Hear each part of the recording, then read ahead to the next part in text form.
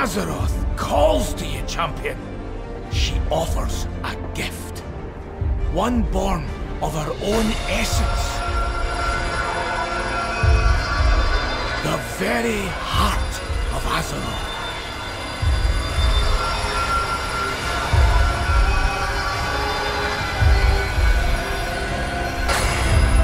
Infuse this amulet with power.